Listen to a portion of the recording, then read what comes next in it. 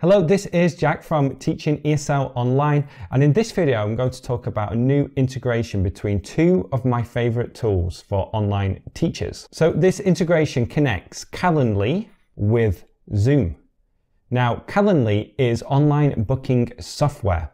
And as a teacher, you can create your own calendars and events so that when a learner wants to book a lesson with you, they can select a time and date it will automatically book that time for them as long as they send through payment if you do accept payment for the first lesson.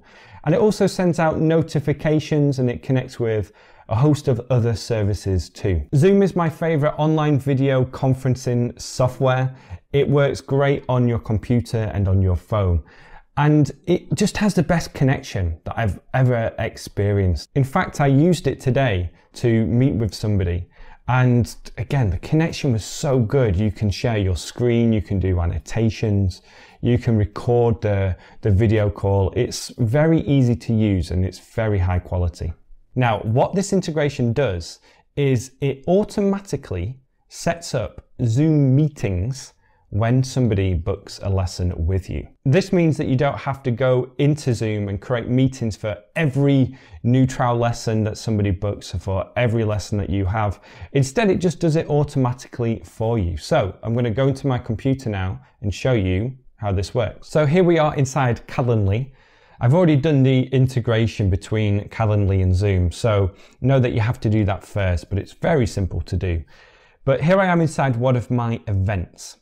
So this event is a trial lesson. Chat in English with Jack and practice your English. And all you have to do here is click here so that Zoom is now connected. And that means conference details will be provided upon booking completion. So when somebody books this trial lesson with me, then it will automatically create that Zoom meeting. And that information will go out in the email and email reminders to both you as a teacher and to your student. And when you save it to your calendar, then it will include those details too. Now, just to show you what it's like to book an event, you can see that times are in Eastern Time, US and Canada, and it will automatically update this based on where the person is. So it, it goes off their time zone to make bookings very easy. Then, as a student, you just choose the day, let's say Thursday, choose the time, confirm, enter your details,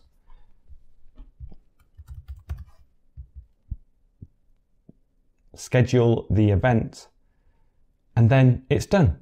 And as you add it to your calendar, you will see that it has the meeting room here. It, it has been set up and it gives you the date and the time of the location and all the information you need.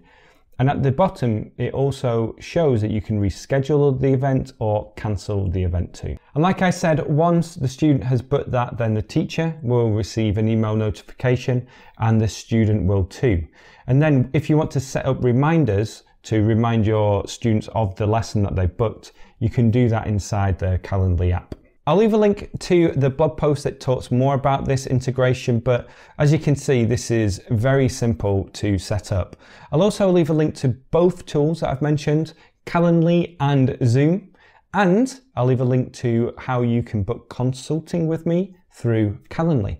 So thank you for watching this video. Please like and share, and then also check out my other videos. Speak to you soon.